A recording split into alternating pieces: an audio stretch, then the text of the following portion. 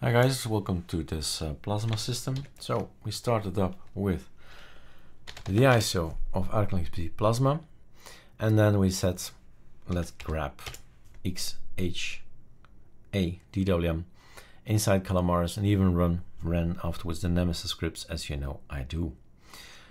The topic of the video is actually how to figure out settings and then later on, once the settings are set, how to keep them and how to get them back after a clean install. So we have done exactly the same uh, for any of our desktops. So it has already been documented, but it's a work I have to do. And what's the reason or why, why do I need to do this? As you see, when I move it, it's transparent. But when I let Konsole go, it's not that transparent. So where's the setting?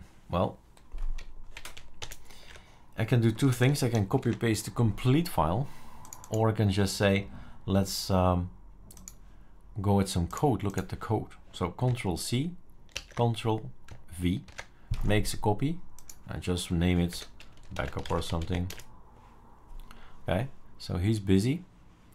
And if I do a compare later on, right mouse click and I do a meld menu, compare selected files and meld of course has to be installed and I don't want to see everything is the same. I want to see only the things that are different.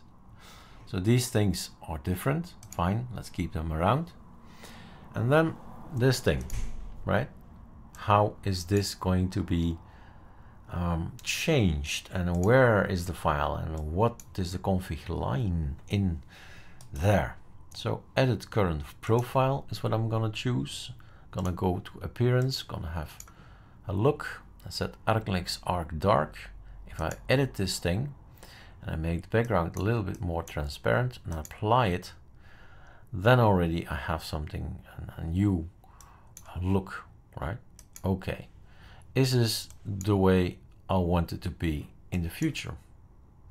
Then okay, if that's the case, and let's do another test with Alt N, the next wallpaper. Alt N. Alt N. Do I like this new look? Yes, no. Right, otherwise back to edit current profile, appearance, and there's more to be changed, and there's more stuff. There's here also blur background, which is seems to be already applying that, but um, let's see what happens. Alt. Well probably best is safe. Uh, better be safe than sorry. Reload it. Let's see what it applies.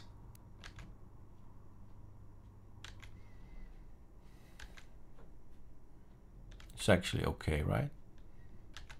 I can live with this look. There isn't however a thing which I really can't live with. It should be a little bit bigger so that's the question. Is it now saved? If I drag this, I do Control T again, then it's bigger. Okay, so we see the last lines up here. So if this is gonna be my setting, then I go back, I go back to meld. I'm gonna refresh it. I'm gonna see what changed. So this is not our thing, not nor is this, nor is the variety wallpapers. We're talking about konsolerc. And there's also this little guy. Let's first have a look at this one. So that's the wallpaper, it's a wallpaper. So unimportant. This is the guy I need to put in the, the code of the new ArcoLinux Plasma and then I'll be fine. So there are screens here, there's the height. So I'm gonna change the height. It's 918 instead of 730. I'll probably round off to 650 or 920, right? And exposition show uh, as dangerous because there are always different screen sizes. Restore precision huh? so I I don't know maybe keep these two or, or we'll change the first two. I'll see what's in there right now. I don't, I don't know. But this is the size and this is gonna be the state. That's gonna be the the look that I'm currently having written away in something gibberish that we don't understand, but it knows what it should do with this code. that's the state it will be. All right, as simple as that. So make a copy. You got the file and the konsolerc, that thing there, needs to be copy pasted over. So console RC, this file is what you keep. Control C. Put it anywhere you like in, in the cloud or, or whatever. I will put, this typically goes inside ArcoLinux Nemesis, right? If I say this is the thing, this is how it should look, and Erik is all wrong, and it's okay because we are all having different tastes, that's okay. So you go to Home, Data, ArcoLinux Nemesis, all the personal stuff go in here for me. I make myself a nice little folder and say console, right? And then you put it in there. Console, here you are. Control V, and all you need to do now is say in a bash script, run it, copy this file to that place, done. And you have your personalized .config spec. And it applies to all of these things, all of these things. All right, enjoy. I'm gonna give this code to you again via the packages and the updates. Cheers.